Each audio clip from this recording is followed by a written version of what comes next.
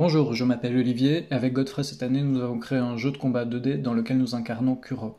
Ici c'est l'écran de sélection, écran de sélection nous pouvons choisir plusieurs personnages, cependant au vu de la vertical size de cette année nous n'en avons développé que un. Je vais expliquer du coup comment le jeu se déroule dans sa durée et la première chose que je vais expliquer c'est comment la HUD marche. Dans la HUD vous voyez qu'il y a deux barres, une première c'est simplement la barre de vie du personnage, lorsqu'on meurt nous nous transformons en mode shadow, mode dans lequel je vais revenir plus tard dans la vidéo. La deuxième barre, c'est l'attaque d'attaque spéciale. Cette attaque spéciale se charge lorsqu'on inflige un coup à l'adversaire et diminue lorsqu'on prend un coup.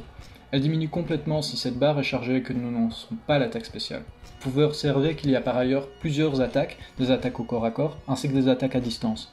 Ces attaques au corps à corps sont simplement des attaques basiques ou des attaques de combo, quand on fait une première attaque suivie d'une deuxième, suivie d'une troisième par exemple. Du coup, ici nous arrivons dans la première partie intéressante du jeu, c'est-à-dire Déjà, y a l'attaque spéciale.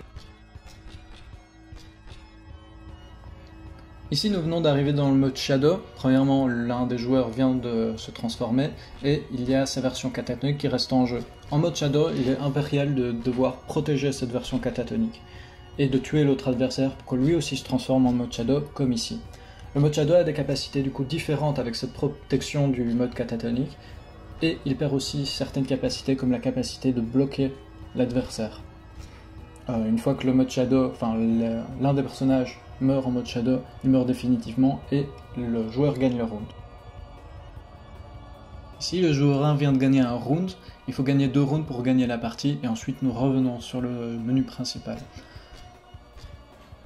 Une fois que le round du coup vient de se finir, le mode shadow et les personnages se reset à des valeurs de base, donc ils sont tous les deux en revenus au mode normal et le monde revient aussi en mode normal. Ici, le premier joueur vient de tuer le deuxième, et du coup ce dernier passe en mode catatonique.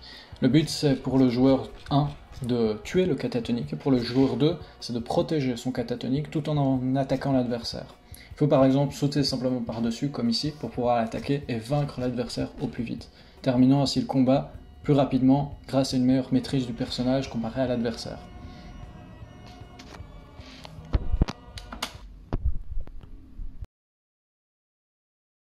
Une fois une partie terminée, on se retrouve à nouveau dans le menu principal. On peut relancer une partie, soit en mode un joueur, soit en mode deux joueurs. Ici, on montre le menu d'options dans lequel on peut changer plusieurs valeurs, comme par exemple la langue, le niveau du volume, le style de la chute.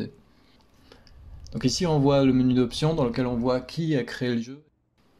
Euh, ici, nous arrivons donc dans le menu deux joueurs, où simplement chaque joueur choisit et sélectionne euh, ses joueurs. Du coup, le mode versus permet d'affronter en local un joueur qui se trouve simplement à côté de nous. On peut observer que le joueur 1 est dans les couleurs euh, de base du jeu, tandis que le joueur 2 va se trouver en bleu, contrairement à l'IA qui quand on l'affronte est de couleur rouge. Simplement un code couleur pour qu'on s'y retrouve. On peut observer ici dans le menu de pause qu'on retrouve les options du menu principal qu'on a parlé juste avant. On montre aussi les inputs. Les inputs qui montrent du coup toutes les attaques possibles dans le jeu que l'on peut faire avec le personnage de Kuro.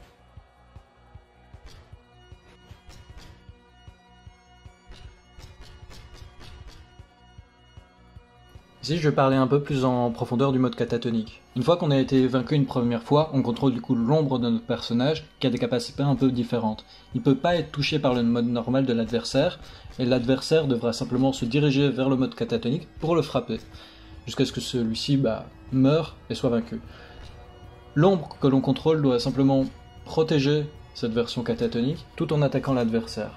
S'il arrive à le battre, l'autre adversaire passe en mode d'ombre aussi, et les deux ombres s'affrontent comme le combat normal avec les différences liées au mode d'ombre.